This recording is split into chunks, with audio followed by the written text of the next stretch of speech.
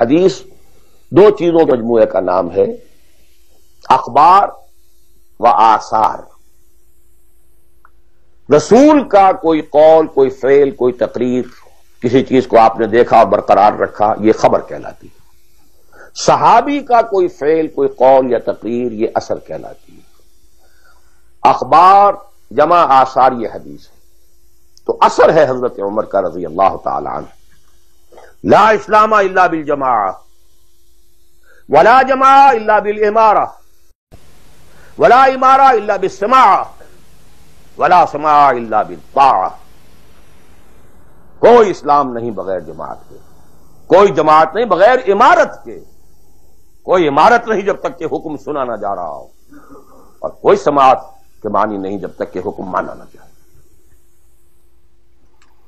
जमात association नहीं, अंजुमन नहीं, society नहीं, इदारा नहीं।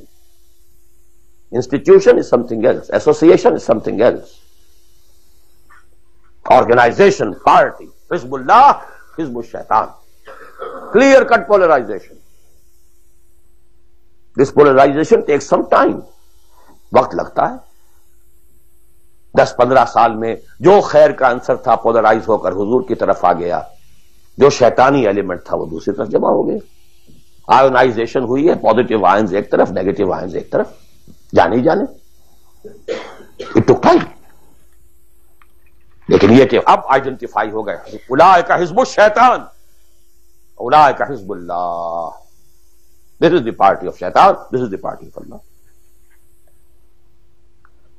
और तीसरी बात यह इस जमात के जिमन में, जमात जो है जिसमें के समतात हो, वो जमात है। लिसन लोबे इससे कमतर जमात नहीं है।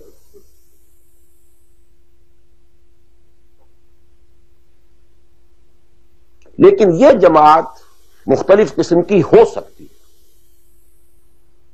एक कॉन्स्टिट्यूशनल जमात हो सकती है। उसमें कॉन्स्टिट्यूशन को वो हैसियत हासिल होती है कि you have to obey it कोई उसका सदर बनता है तो हल्फ लेता है कि I'll be loyal to this constitution अब ये भी तो एक जमात है ना। अमेरिकन नेशन एक जमात है, उसका एक कॉन्स्टिट्यूशन है। सदर आएगा, हल्फ लेगा, कोई और आएगा, हल्फ लेगा चीफ जस्टिस होगा, हल्फ लेगा, उस कॉन्स्टिट्यूशन का। किसी आदमी का नहीं है उसमें हल्फ। Not personal allegiance to anybody allegiance to the constitution इसी तरीके से जमातें बने, उनका दस्तूर हो, ये मेंबरशिप की रिक्वायरमेंट है, ये आप पूरा करेंगे मेंबर बन जाएँगे, आप अमीर मुंतखब करेंगे, कसरत राय से, फिर यह कि अमीर जो है, वो भी शूरा भी मुंतखब करेंगे, शूरा की राय का वो पाबंद होगा या नहीं होगा, किस दर्जे में होगा, किस दर्जे में, आप बना लीजिए कॉन्स्टिट्यूशन और जो शख्स भी शामिल होगा, वो इस कॉन्स्टिट्यूशन का हल्फ उठाएगा। To abide by this constitution इस किस्म की जितनी जमातें हैं please take it from me मुबाह हैं, जायज़ हैं, हलाल है।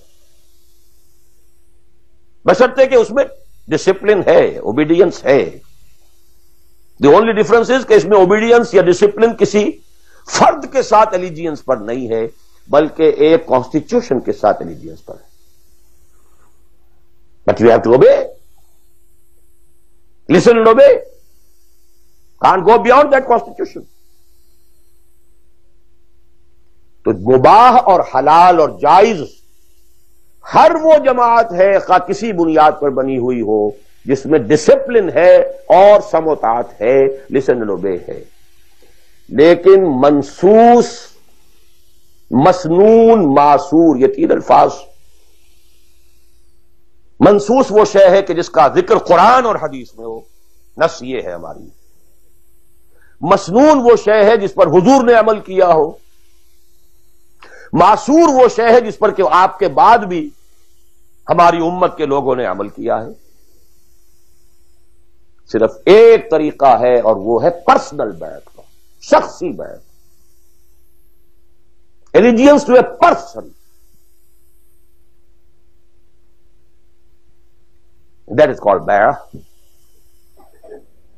हमारे यहाँ हजूर ने ली तो बैठ ली, हालाँकि आप नबी थे, रसूल थे, आपकी इतात तो करनी ही करनी थी, उसका कोई सवाल ही पैदा नहीं होता। किसी और एडिशनल फॉर्मल किसी एग्रीमेंट की कोई ज़रूरत ही नहीं। But he had to leave some उसवा for the उम्मा अगर यह ना होता तो बाद में वालों के लिए, बाद में तो कोई नबी तो नहीं आना, रसूल तो नहीं आना। उसवा कहाँ से आता फिर? रसूल व ताते फिल उसरे वल युसरे वल मनशते वल मकरहे वाला असरत अलैना वाला ला नुनाजिल अमरा लहू वाला नकुल बिल हक नमा कुन्ना ला नखाफ फिल्लाह लौबत लाई मुत्तफकुन अलैह। बुखारी, मुस्लिम, दोनों में हदीस मौजूद रज़ी अल्लाह सोचिए, जब रसूल मान लिया तो ये सारी बातें कहने की ज़रूरत क्या है? Sometimes I do wonder, brother, when you say, Allahumma taqabbal minna ruku'ana wa sujudana wa what's this? Salatana. Yakfi inshallah. Rabbana taqabbal minna innaka anta sami'ul alim. Everything. Why to go on counting them? और क्या चीज़ आप अल्लाह का तस्बीह है तहमीद है तकबीर भी हम कर रहे हैं तकबीर अना व तस्बीह अना व तहमीद अना व रकू अना व सुजूद अना व कलूत अना everything One thing, sufficient.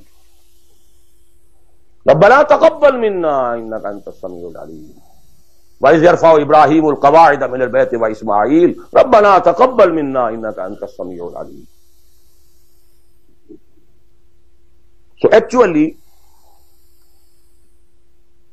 but here we find you know इताह हुजूर के लिए एक बात थी मानना है हर को मानना लेकिन ये सारी शर्तें क्यों दी मोहम्मद ने सल्लल्लाहु अलैहि वसल्लम?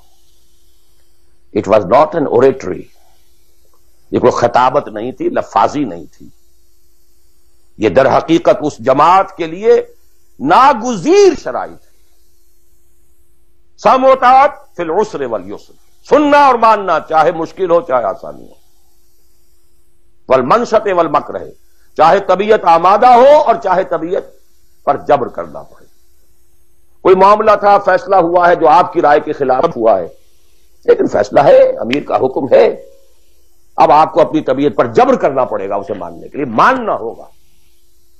और अगर फैसला आपकी राय के मुताबिक हुआ है तो आप बड़े शराय सदर के साथ इस पर अमल करें। वह अला असरत इन आलिया चाहे आप दूसरों को मुझ पर तरजीह दे दें। That is the main thing जमातों का बेड़ा गर्क तो होता है इस चीज़ से। आपने उसको क्यों बना दिया? मैं पुराना आदमी, मैं सीनियर आदमी। आपने जैद इब्ने हारसा को बना दिया। ये तो आज़ाद शुदा गुलाम है। बड़े बड़े जलील कद्र जो है, कुरैश के सरदार इसके कह जाएँगे। हजूर का चचादाद भाई साथ है। जैद शहीद हुए हैं। जाफ़र तैयार रज़ी अल्लाह तबन अबी तालिब वॉज़ अंडर हिम फिर आखिरी लश्कर में आपने उसामा को बना दिया। और सितम बाला है सितम। यंग मैन, इसकी कमांड में आप दे रहे हैं, किबार साहबा को। No it's your prerogative to whom so ever you give the office it's your prerogative we are not going to question कभी नहीं आप पर एतराज़ करेंगे। असरत इन आप जिसको चाहे हम पर तरदीद है हुआ। जिसको अब आप जिम्मेदार अमीर बना देंगे, उससे झगड़ेंगे नहीं। कोऑपरेट करेंगे। वाला नकूल अबिल हक जहाँ भी होंगे, हक बात कहेंगे, जो अपनी राय है वो ज़रूर देंगे। जबान अपनी बंद नहीं करेंगे कि खाम खा कोई मज़ाक उड़ेगा, मैंने ये बात कह दी। नहीं। I want withhold my opinion वो मैं बयान करूँगा। Complete constitution of Hezbollah